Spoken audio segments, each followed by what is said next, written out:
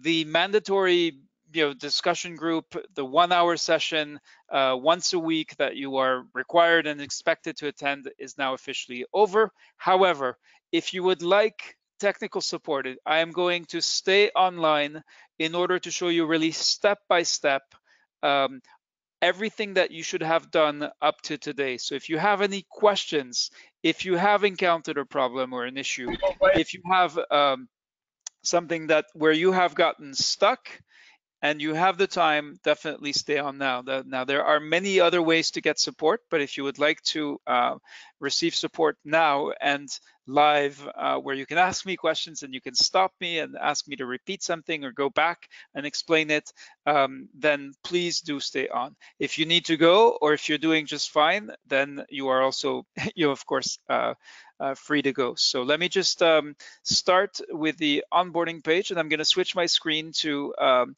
the um, to show my browser and in this way you'll be able to see and I'll be able to explain.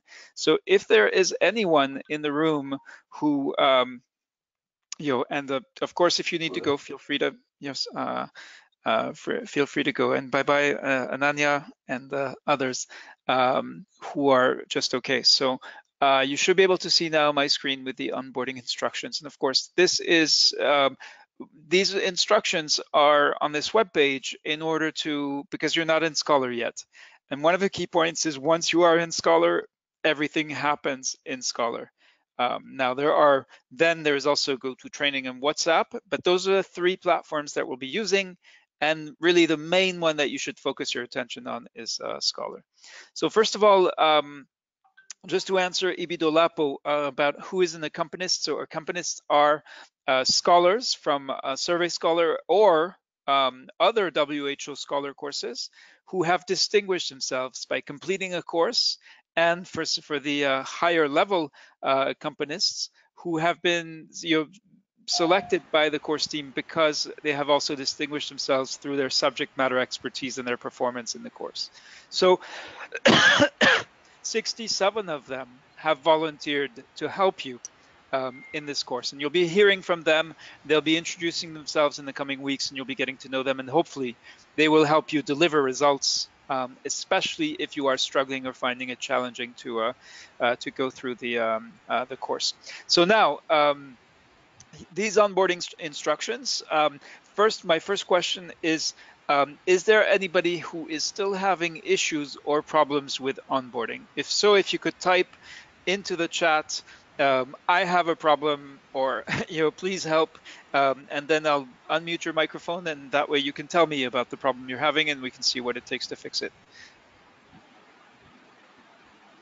All right. Uh, so how does how would one choose a project, or will it be assigned by the team? So it'll be assigned by the team, George. Um, so how do you raise your hand? That's a good question. Let me first lower everyone's hands. That way I don't get confused by people who are holding their hand up for something else from the from the discussion group. Um, so you will see where you have the participants um, uh, panel. So in the GoToTraining configuration panel, which is the thing that sits on the far right or far left of your um, uh, of your screen, you'll see a participants panel, and that's where you see the uh, hand raised uh, the hand raised icon. So Munir Salesul, let's um, uh, let's figure out, let's see what's happening uh, with you. Munir, how are you doing and what is the problem you're facing? I'm doing, I'm doing fine. I, I tried to went through the onboarding process, but unfortunately I, I couldn't reach the, the scholar community, uh, communities of which I all the assignment being given to the group, I couldn't get the assignment and I can I didn't do the assignment. So that's my major problem. Okay, so let's uh, uh, let's quickly. So there's a simple way to verify if you've made it, if you've actually if you're actually in the right place. Um, yep. So. Um, so, yeah. so Reda, you see what actually happened. I went through all the process, but unfortunately, at the end of the process, that it shows me that uh, are you a robot? Are you a robot or what? So I try to click and erase all the information that is inserted inside the platform, but unfortunately, it fails to to be to be to, uh, to be uh, Okay. Uh, so the first thing I can say is is to reassure you that hmm. you know um, there are very few cases in which you know there are you know there there, there such problems uh, can be encountered. Usually, at some point you may have you missed a step or you um, and so uh, what I can recommend let me just uh, uh, is to get in touch as soon as you can with Dr. Hannah Kelly. So he is uh, I'm typing in I'm putting in his uh, Okay. WhatsApp number and um, Okay. Yes. Uh, and so I urge you to, you know, preferably contact him by WhatsApp, explain what's happening, and in most cases, he can solve the problem you're having in under, you know, five minutes. Let's give him 10 minutes, to make sure, you know, uh, so he can go in, fix your account. And if anyone else is having this kind of problem, Thank you Uh, you know, with uh, registration, just you know, uh, contact uh, Hannah, and he will fix it for you. Um, now we see some people sometimes doing you know things sort of misinterpreting instructions. I see here, for example, that we have a new request, so someone who's just joined the, uh, uh, who's just trying now to join the community, perhaps following this um, uh, discussion group. Okay, so this is an accompanist, uh, Aliu So, who is uh, joining. This is, so that's great. Um, so, all right, thank you, Munir. I hope so. I can't solve your problem right away, but um, you know definitely do follow Okay, up with Hannah, okay. and uh, that should do it. All right. I do Okay. want to walk through. Um, so um, let me see. I saw a couple of questions that were easy to answer. When's the first week assignment going live? So that's on Monday. Yes, uh, to answer Binish and um, and uh, Chukuma. Um, so thank you, Masood, for the kind words. Um, and let's see what else have we got. All right. So let's go back to the onboarding instructions. So the big change, we've actually updated this page um, because of course once we made the decision to uh, and recognizing you know the quality of the applicants um, who selected 424 of you we realized that we would need two discussion groups. And that requires significant effort so, so from from our side. So we had to make sure we could do it which is why we left you there a few days when many of uh, many of you were sending emails and whatsapp messages saying i've tried to register for the wednesday group but i'm not getting in. Um, you know, now we have the solution, which is here. So if you haven't seen this yet, it's also in the Scholar community in the latest update. Uh, these are the links to um, register for the Jenner weekly discussion group. So if you're in the Thursday discussion group, you're Team Jenner. And if you are in the Wednesday discussion group, which you all were today, then you are Team Pasteur. All right. Um, so do make sure that you you follow up accordingly that you're registered in one of the two groups. Now um, if you're absent what happens? The first thing that happens is that you're removed from the group okay? We don't you know because we're at capacity we don't need people to hold a seat and then uh, actually not show up. And we know some of you have legitimate technical reasons for for being absent but still um, so here's the process. You'll complete the legitimate absent re request form. So that's a simple form here uh, that you can fill out. You'll view the session recording and then there'll be a catch-up task, usually commenting on something that is in the session recording. So basically that's how this works. So basically by ensuring that you attend, that you show up, um, you save yourself a lot of hassle. You save a lot of you, you save yourself a lot of extra work. And of course, we, you know, we do that because we believe that you know that participation is really really important in the discussion group. There's a lot to be gained. So sure, today we gave you a lot of information, but learning to listen to your colleagues, learning to give them feedback, practicing giving them feedback, um, uh, that is a very useful skill. So on the creation of the Scholar account, I want to draw your attention to the, here what's under important. There's lots, so this is not intuitive. It is, you know, other platforms, if you know, if you're used to Google or the big, you know, or Hotmail or whatever, it's not as quirky as um, this, but these are very simple things. As long as you follow them, um, you will not have any problems. And the Scholar platform is extremely reliable. We've never actually lost data or information that somebody has worked on. Most of the problems can be attributed, for example, in the account creation process to people who do not, um, you know, there are three pieces of information. There's a username that you create and it can be anything. There's an email. Many people have several email accounts. And then there's the password, which of course people notoriously forget about. So uh, I'm not going to spend too much time on the, on the onboarding, but I did want to quickly review this. And of course, here is the first important lesson is that there is a special link which will save you a ton of hassle. So if you look at the community um, by default, So is it possible to move the, between the two groups? Asks uh, Junaidu Adamu Barde. Um, so we're going to see how many people. So there will be slots opening up in the Pasteur group um, because there were around 30, you know, 30 some uh, people absent. Um, now those slots, you know, if you're quick, you should be able to register for the Pasteur group um, and then you secure a seat. What we don't want so much is people hopping back and forth. Do be diligent about which one you attend. You'll also be getting to know the people in a particular team, whether it's Team Jenner or Team Pasteur, so do think about that. Um, so yes, preferably before the designated discussion time, but we know when there's always a few people who have technical difficulties and who can't connect, who are trying to connect and they'll send WhatsApp messages and desperately say, I'm doing everything I can. So in that case, of course, you can fill out the legitimate absence form uh, after the uh, uh, the event. And thank you, Kamalakar Lashkari, for the uh, kind words. It was really an amazing experience just being here with you all. Hope to learn a lot from you in days to come. We'll be learning from you as well. So, um, so by default, when you you check into the community, what do you see? You see a ton of stuff, but let me actually take a step back to do this properly. So I'm going to use not my administrator account, but excuse me. Um, so I'm going to use a, yeah, here we go. Um, a regular user account just like yours. Now you always, you should end up in the last place that you visited uh, in Scholar.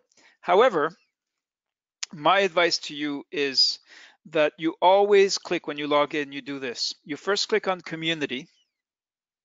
And what that does, community starts with you. So what you see when you click on community is actually your personal profile. In this case, I've given myself the name tutorial course team. You will see your name. How do you know you're in your personal profile? Because there's a yellow bar here. If you're in the community, it's a blue bar.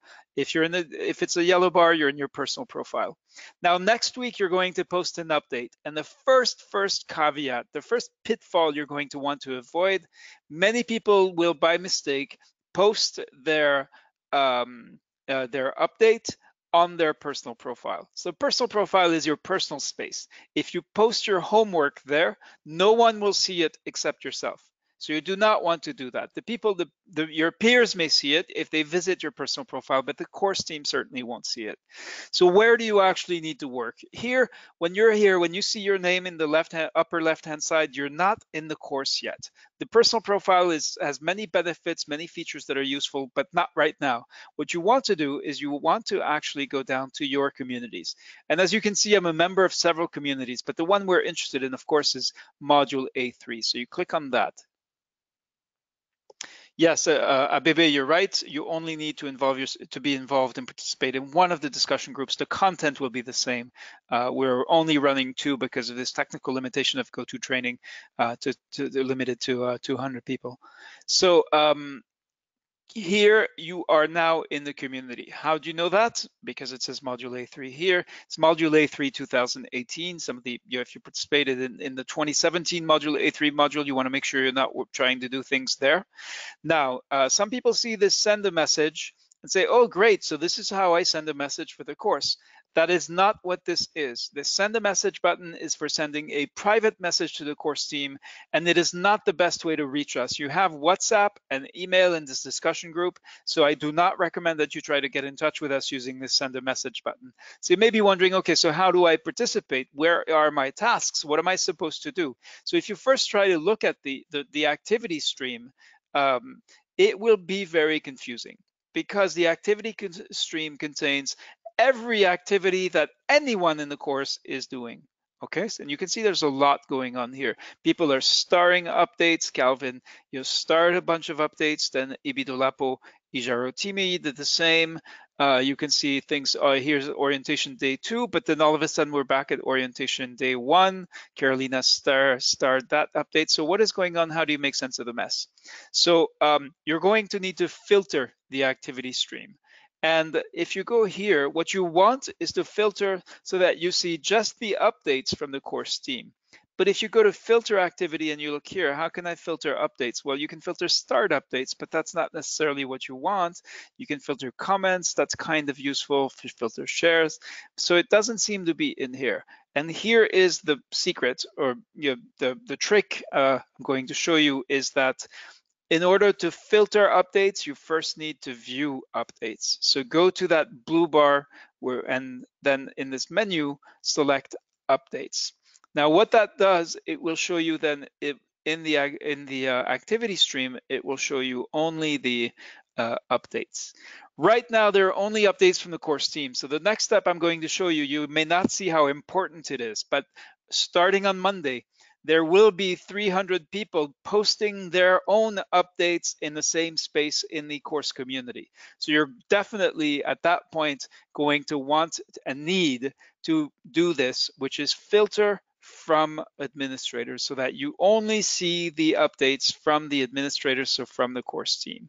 So when you do that, then you see that um, you can find the orientation day updates and begin to work um, on the course. So again, if you're by default in the activity stream and you go to filter activity, you won't find filter updates by admins. Where is it? There's a preliminary step, which is that you first have to click on updates here, and only then does filter activity become filter updates, and only then having gone through that step of selecting updates first, can you filter updates from the administrators? All right, so that's kind of, uh, now the good news is that you don't need to go through those tedious steps, those tedious steps each time. What you can easily do is actually grab this bookmark and um, then save the bookmark. So if you don't know, bookmarking is kind of a lost art in the early days of the internet bookmarks are very important now. Most people just type things into Google and find them that way. But uh, there is a benefit if you don't know how to um, how to create a bookmark or what is a bookmark exactly in your browser. We've realized, surprised me just because I'm an old hand, but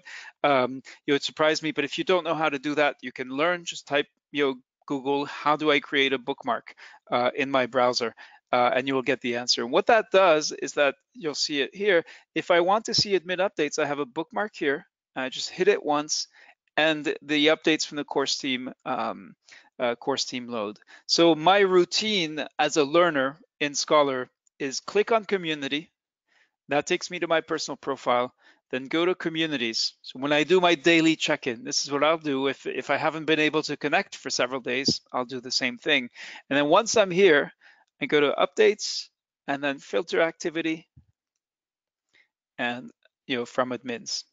So uh, now let's get down to the business of what you actually need to get done. So my suggestion is to scroll all the way down, okay? It, so let's say you were joining the course today. Um, here's what you would do. You would scroll all the way down, uh, just the updates from the course team. And you can see, you know, one piece of advice is do not try to read everything. All right. So for example, the introductions, there are 263 people who introduce themselves in the community. That is amazing. That is wonderful. Do not try to read all of them unless you have a lot of time on your hand. Read a couple, get a feel you know, for who is in the course, but really you should only start reading the, the, the, introductions from others once you have completed yours. And that is, of course, uh, you know, there's a reminder for you in the honor code and participation guidelines. Now let's look at what these updates look like. So when you click everything, the little blue links tend to be very important and some people completely miss them. So you know, another, you know, tip, a top tip for a scholar is to pay attention to the little blue links. So the honor code you've seen before, and then you can go back and start scrolling up. Let's look at what you were to do in orientation day one. So here, um, you click on orientation day one and wait. In some cases, you know, wait for it to load. Scholar is you know, an increasingly busy platform. Um, and here's an update. So what's an update? An update is a series of short tasks and instructions. So the structure of updates you know, is consistent or we strive for consistency. Um, there are, you know, there's a line, all capitals, how many tasks you have to complete. Now, what do we mean by tasks?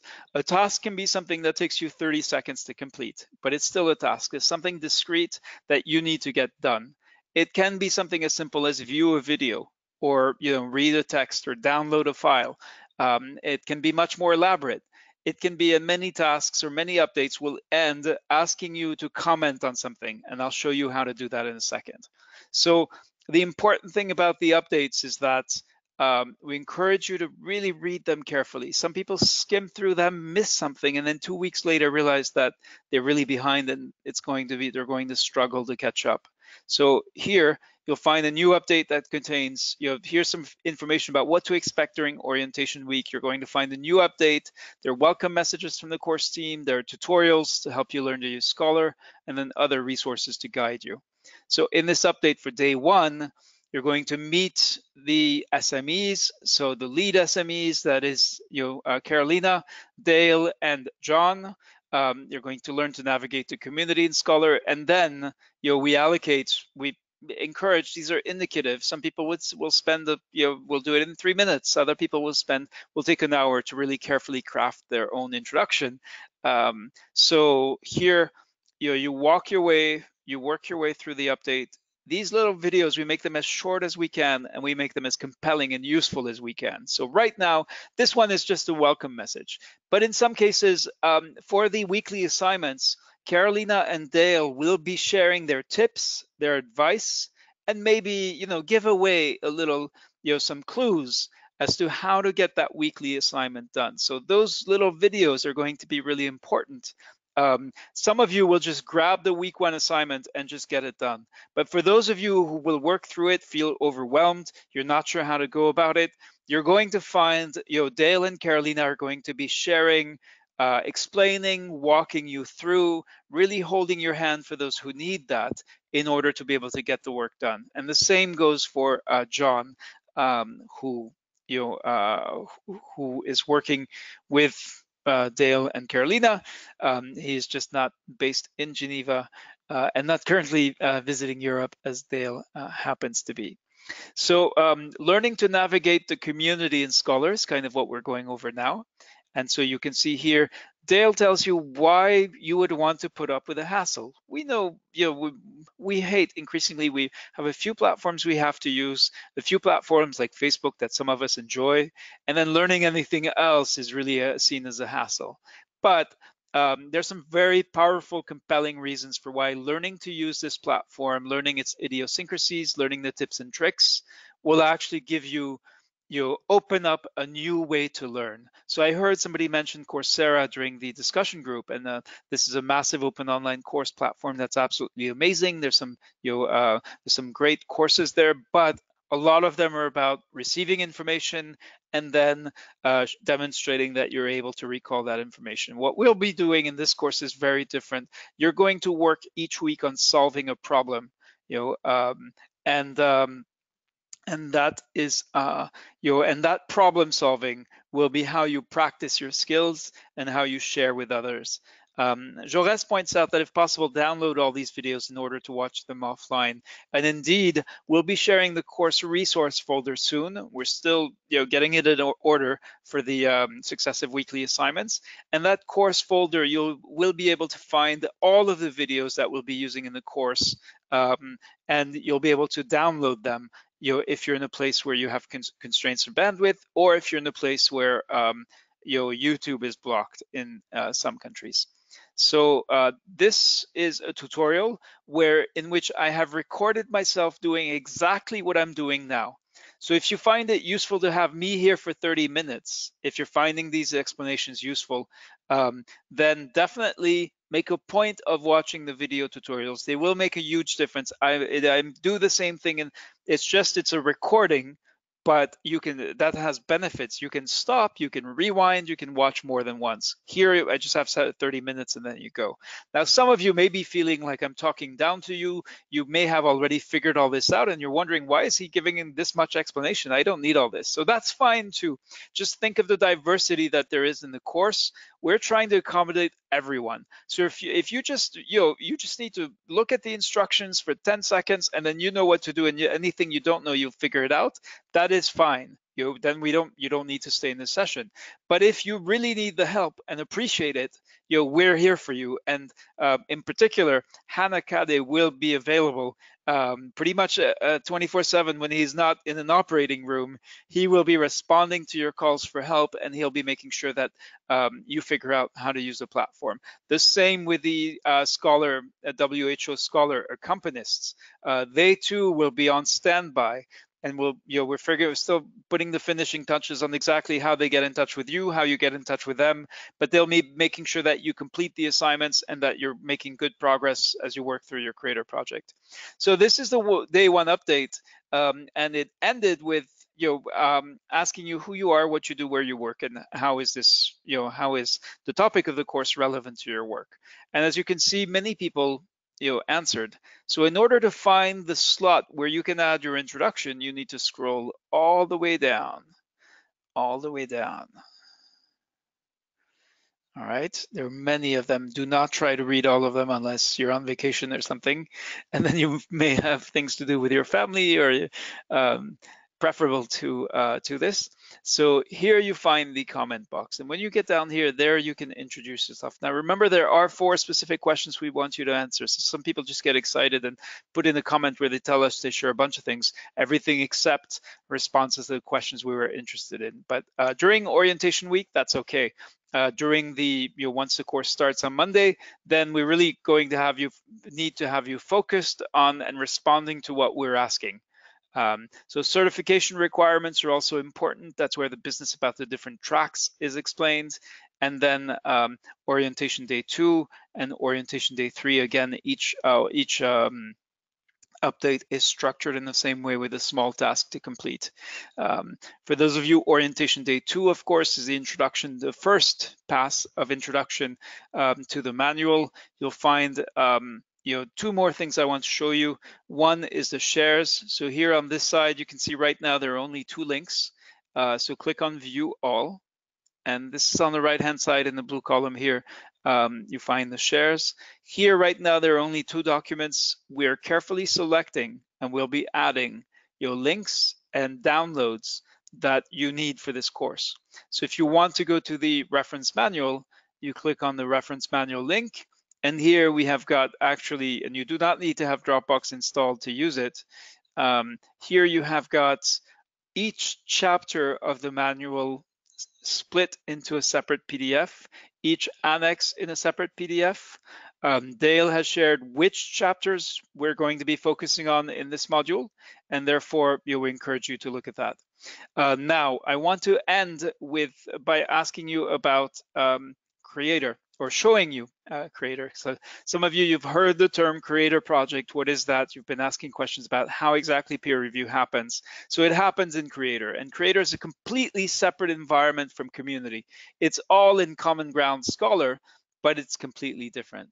So here I've just dropped into creator and I actually have a piece of a project from a GRISP course um, because I can have many projects and many works. Um, in uh, Scholar, in my creator space. Creator is a private space. No one is going to see what you're doing there except for the course team, and we'll be looking in to give you advice and guidance and suggestions, and maybe check in and say how are you doing. It looks like you haven't, you know, you might want to make sure you have time carved out uh, to make progress. But this is where the magic of Scholar really happens because in this feedback panel, and you don't need to actually worry, you won't be working in Creator for you know um, uh, right away, but uh, this is where the peer review happens. And this is where you also get receive feedback from your peers that is anonymous, structured using a quality standard called the rubric. Um, and so there's a lot of complexity in there, but we'll be showing you, you know, no worries. We'll be showing you only the things that we actually need you to be able to do um, to properly use Creator. We will be going very fast in weeks five and six, working through uh, peer review especially. So uh, we're going to need you to watch those tutorials and pay attention to what uh, what needs to be done to work effectively in um, uh, in Creator. So that's it uh, for today. I hope this session has been useful in that if I've missed any questions uh, from the um, uh, from the chat, I apologize for that. You can always reach me on WhatsApp afterwards, uh, as well as uh, or leave a comment in the community. Um, you know, the course team, the subject matter experts are you know, very mobilized, um, very dedicated to responding to you. So, you know, if you have a question, if you're, especially if you're suffering, do not suffer in silence. I'm going to give um, Hannah's uh, contact details. And then in addition to Hannah, um, in the coming days, we're going to be, you know, um, the um, WHO scholar accompanists are going to be um, you know, getting ready to support you and to be there for you when you need them. And Jaurès, of course, is one of them. He, in fact, is a level four accompanist. So uh, the course team has specially invited him to share his subject matter expertise as well as uh, his willingness to support and engage with you uh, to encourage you to make it through this course.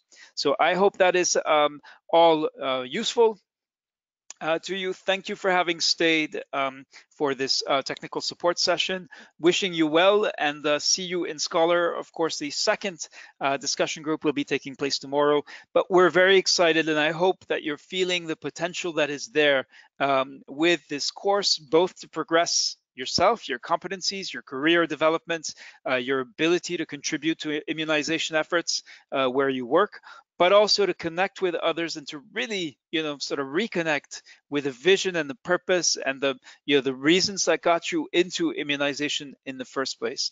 So having said that, I'm now going to unmute you all so we can say goodbye to each other. The remaining 51 participants look forward to um, um, engaging with you in the coming Thank you. Take care. I don't think we have a problem with funding because the first All right, goodbye, everybody.